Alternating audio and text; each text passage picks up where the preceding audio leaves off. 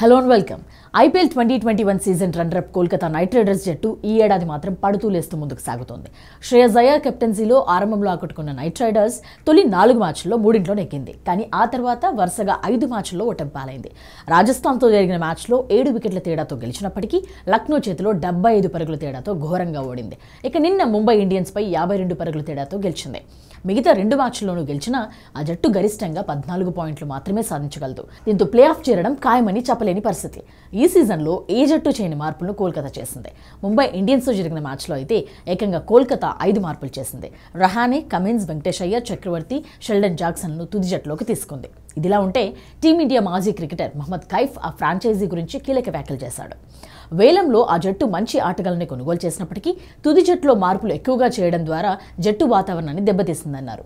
కోల్కతా జట్టులో చాలామంది ఆటగాళ్ళు ఆటగాళ్ళు ఉన్నారు కానీ వారందరినీ ఆడించలేరు. తుది జట్టులో చాలా మార్పులు చేశారు. ఈ మార్పులు ఆటగాళ్ళపై ఒత్తిడిని పెంచాయి. అలాంటి వాతావరణంలో ఆడడం కష్టం. ఈ పరిస్థితికి జట్టు మేనేజ్మెంట్ను నిందించాల్సి ఉంటుంది. జట్టులో పదే పదే మార్పులు చేశారు అని కైఫ్ అభిప్రాయపడ్డాడు. అలాగే captain Shreyas Iyer coach Brendon McCullum మధ్య కూడా సమన్వయం లేదనిపిస్తుందనే అభిప్రాయాన్ని కైఫ్ వ్యక్తం చేశాడు. రాజస్థాన్ రాయల్స్తో మ్యాచ్లో అవుట్ అయిన అనంతరం కోల్కతా కెప్టెన్ ఏదో విషయమై మెక్కల్లం ఏదో ఫిర్యాదు చేస్తూ కనిపించాడు. ఆ విషయాన్ని అందరూ గమనించారు. కోచ్ తీరు పట్ల అయ్యర్ ఫ్రస్ట్రేషన్తో ఉన్నట్లు కనిపించాడు. కోచ్ కెప్టెన్ మధ్య భిన్నాభిప్రాయాలు ఉన్నాయని దీన్ని బట్టి అర్థమవుతుంది.